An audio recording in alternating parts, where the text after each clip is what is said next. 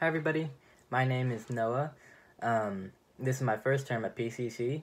Um, I am a high schooler. I'm actually 15, uh, so no degree or major that I'm currently uh, working on. But um, I'm taking this class because I hope to gain an insight into what it's like to take a college class. Kind of like, I just want to see what the difficulty is, how it's different from high school. And obviously, um, this is an online class, so um, it's not exactly the same as being in an actual classroom.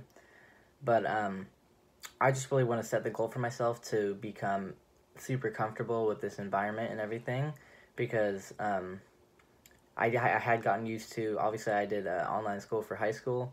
But um, this is a bit different, so I just want to make sure that by the end of the, uh, the end of the class that I'm comfortable with it and that maybe I feel a little bit more confident about going to college uh, when I finish high school.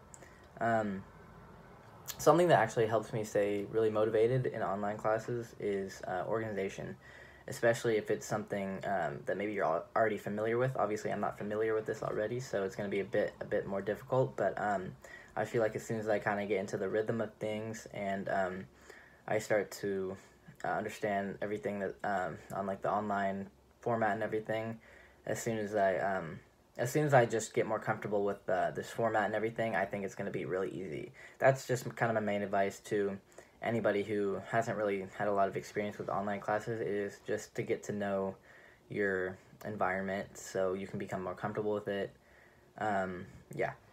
Um, last question, uh, something that I already know about interpersonal relationships. Um, I'm not a. Uh, I just really know that uh, it's definitely important to um, have two people do the same amount of work in a relationship. Uh, it definitely takes more than one person to succeed in a relationship. Because um, for it's like the kind of like a balance beam or whatever. You can't put too much weight on one side or the other. The other one's gonna fall or uh, or go up. So we just gotta keep it balanced. Uh, thank you.